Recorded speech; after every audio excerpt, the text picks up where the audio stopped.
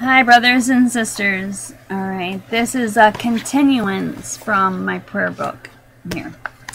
That um, I'm really just feeling led in my spirit because sometimes, you know, it's hard for people to say this the sinner's prayer out loud to, you know, to repent and to um, admit and confess that they are a sinner and ask God to forgive them and to repent of their sins. And it's hard to ask, you know, it's first of all, sometimes it's hard to ask for help because there's a spirit, uh, a stubbornness and of pride. And I can do this on my own type of attitude. But, you know, so if that is the case on your end and it's hard for you to even speak out loud um, the sinner's prayer, know this. Know this first and foremost that God loves you, and you are His precious creation. No ifs, ands, or buts. I don't care what is in the past that you have done. He is saying, Come. Come. I sent my son to make a way for you. Today is a new day. This is the day, and now is the time God wants to help you start new. Only God can do that. But we each have a part. We have a choice to receive and to walk in His truth. But first, it takes us to acknowledge our sins and then give them to God. Then the past can remain and stay in the past. Don't bring the past in to your now or future. Leave that in God's hands too by confessing them to God. So you see, we have to confess our sins, confess what we have done wrong to God, and ask for His forgiveness. And He is just, and He is righteous, and He is gracious and he will forgive. And then we move on forward with him in the newness of his life and his plan for you. Break out of the old way. There is a new way, a new life in Jesus Christ. I am in it now, and it's real, and He is real. His word says, For I know the thoughts that I think toward you, saith the Lord, thoughts of peace and not of evil, to give you an expected end. And that's Jeremiah 29 11. For the Lord is good, his mercy and kindness and steadfast love endures forever. And that's Jeremiah 33 11. It is the goodness of God that leads and draws us to repentance. Romans 2 4. God is love. God is good. He wants the best for our lives, and while we are alive, He strongly desires us to come to Him as we are. Come as you are. You can't get yourself perfect. You can't cleanse yourself up. You know, if you have a problem with stealing, you know, you can't just all of a sudden stop stealing and then decide to come to Christ. No. If you have a problem with, with, with drugs or if you're like an alcoholic you can't expect okay well whenever i stop drinking you know then you know christ will accept me and maybe he he can forgive me. No. Come as you are. He won't beat you. He won't beat us. He doesn't say one thing and do another God is trustworthy. You can hold him to his word. And that's a lot of the problem nowadays. It's so hard for people to trust other people because people lie. Men lie.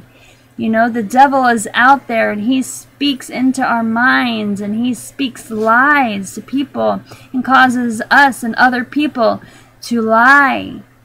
But God doesn't lie. He is not a liar. He is honest and he is real. He is the truth. And he loves you. Even the worst can come to him and repent and sincerely ask Jesus Christ into their heart and become one of the sons of God. For I know the thoughts that I think toward you, saith the Lord, thoughts of peace and not of evil, to give you an expected end. You see, we have to have a right attitude in our heart because the Bible says that in the last days that our hearts, that men's hearts will grow cold. And you see it. I see it. So you have to have the right heart attitude. And so, Heavenly Father, I need you. I need your precious gift bought for me through your Son, Jesus Christ. For godly sorrow worketh repentance to salvation not to be repented of, but the sorrow of the world worketh death. And that's Second Corinthians 7, verse 10. And here's a prayer for a right heart. Heavenly Father, I come to you and ask you in Jesus' name to set me free from any wrong thoughts, feelings of fear, doubt, and unbelief. Lord Jesus, I ask you to free me from any thoughts that I have that is contrary to you and is hindering me now from coming to you. I ask you, Father God, to deliver me and help me now to be free from all hindrances I have in becoming your born again kingdom child. In Jesus Christ's holy name. I resist the devil, and all his evil spirits must flee and leave my presence. Lord God, remove any lies and hindrances and help me so I can say the above prayer of salvation in earnest from my heart.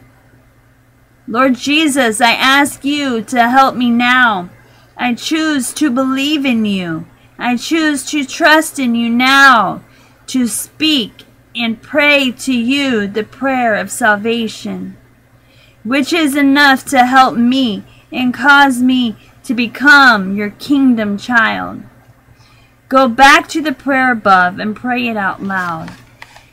And so if you are wanting to receive salvation, you know, and you want to know the and say the sinner's prayer, you can contact me. You can email me. My email is 8 period H Y A T T 0809 at gmail.com.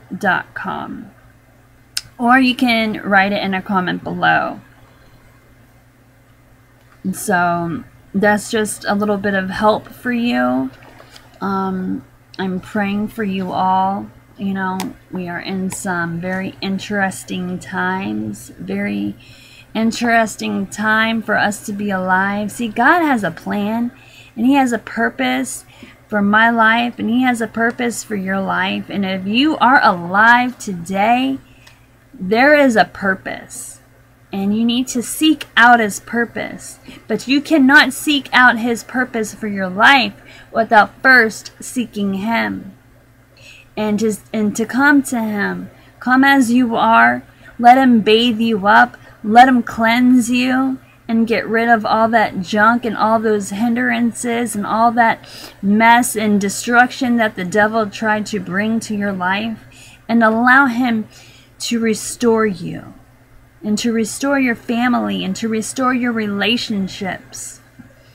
Because that devil, you know, he made a mess of my life.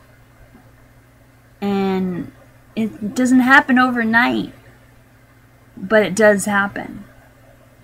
So trust the Lord, trust God, trust Jesus. He is alive, He is risen. And the Holy Spirit is our best friend. He's our helper, and He gets us through the day. Through all the chaos that you see in this world, you can have peace. But that peace is a supernatural peace, not a peace that the world provides, but a peace that God gives when you seek Him. So trust in Him, believe in Him, and have faith. I love you all so much, and I will talk to you later. And I pray that this helped somebody. Bye.